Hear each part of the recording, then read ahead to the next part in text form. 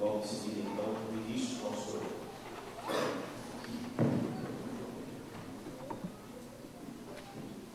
Querido bondoso Deus, louvamos o teu santo nome essa tarde de sábado, porque nós reconhecemos que o Senhor Deus é digno do melhor louvor.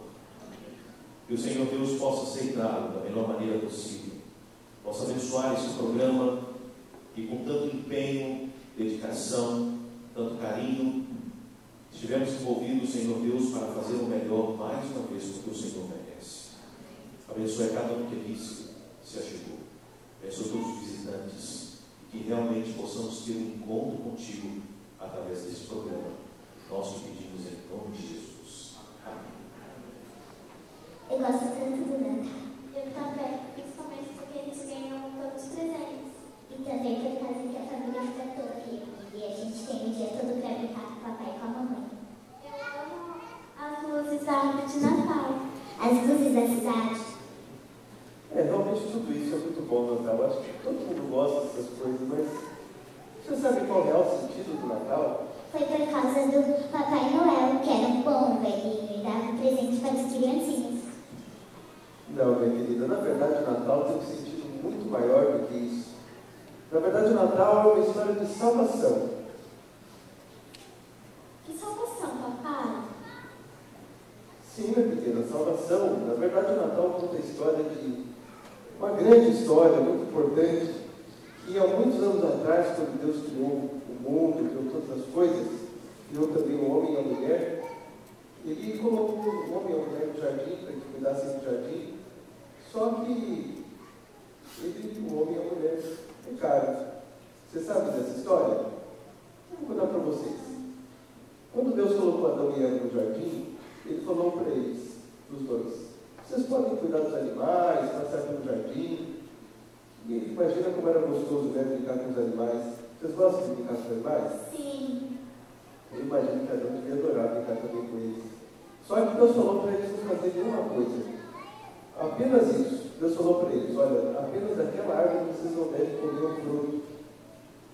Só que um dia Eva se distanciou de Adão e passeando pelo jardim do Éden, uma cobra chegou a ela e conversou com ela. Papai, você fez não fala. Pois é, hoje não fala, aquele tempo também não falaram, mas aquela cobra falou. E ela falou para ela que se ela comesse daquele fruto, ela se tornaria igual a Deus e ela não morreria. Só que era mentira. E aí, papai? Deus ficou muito bravo?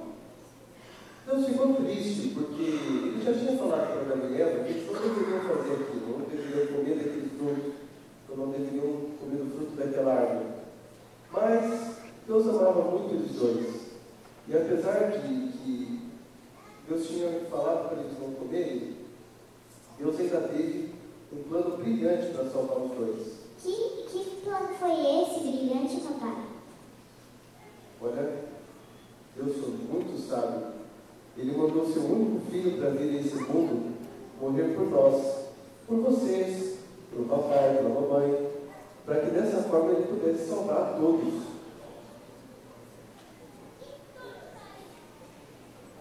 Você pode contar essa história pra gente, papai? Claro que posso. Mas, papai, onde o Natal entra tudo no meio disso? O Natal existe para que a gente possa se lembrar de toda essa grande história da salvação e que a gente possa refletir em tudo isso. E lembrar do real sentido do Natal. O Natal lembra Jesus, lembra a salvação, lembra uma nova vida que todos nós podemos ter.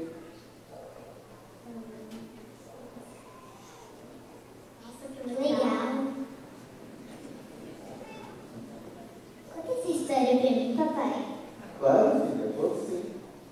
Eu vou contar para vocês essa noite a verdadeira e real história do Natal.